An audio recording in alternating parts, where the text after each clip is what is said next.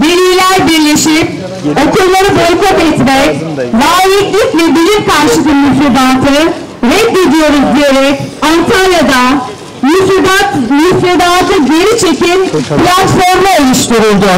Laik, bilimsel, kamusal ve ana dilinde eğitim talebi olan, sesinizi duyan, çocukları için endişelenen ve çocuklara onarlı bir gelecek bırakmak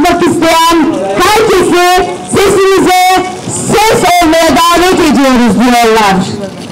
AKP ve MHP faşist iktidarını tarihin çöplüğüne hep birlikte gömeceğiz. Bu müfredatı uygulayamayacaklar. Sözlerime böyle başlamak istiyorum. Milli Eğitim Bakanlığı geçtiğimiz yıllar içinde defalarca değiştirilen eğitim müfredatında bir kez daha kapsamlı değişiklikler yapmış ve taslak programları yayınlamıştır. 2024-2025 eğitim öğretim yılından itibaren okul öncesi 1, 5 ve 9. sınıflarda uygulamaya başlanacak olan müfredat gibi önemli bir konuda yapılan hazırlıkların eğitim alanında örgütlü sendikalar ve kamuoyundan uzak şekilde gerçekleştirilmiştir. Bilim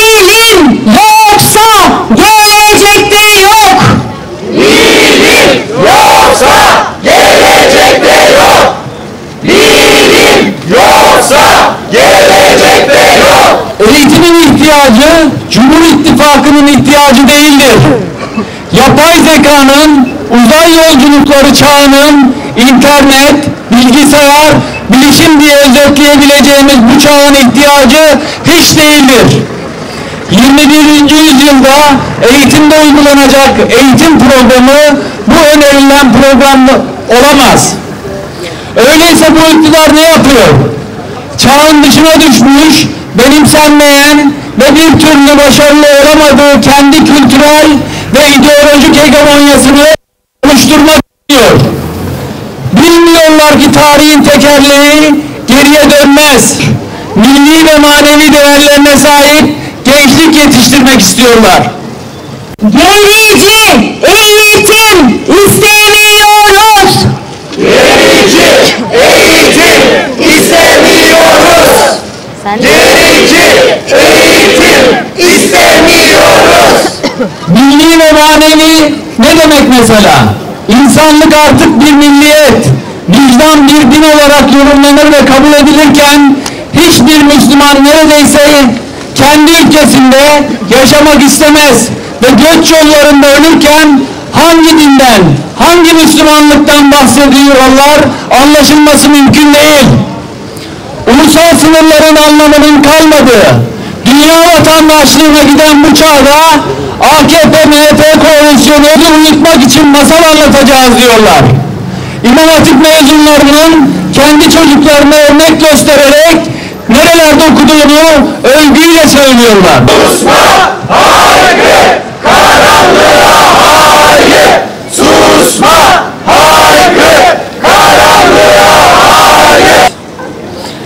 Eğitim müfredatı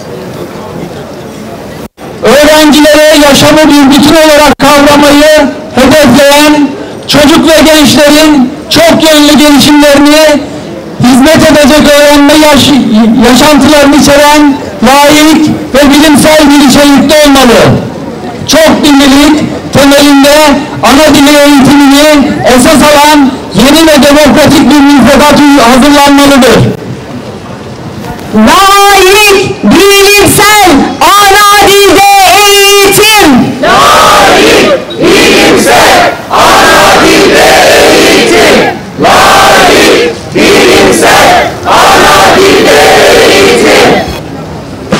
Eğitim müfredatı olmaktan çok uzak olan ve tek adam rejiminin yaratmaya çalıştığı dini esaslara dayalı toplum modelini temel alan laiklik ve bilim karşıtı yeni müfredatı reddediyoruz. Eğitim, müfredat istemiyoruz.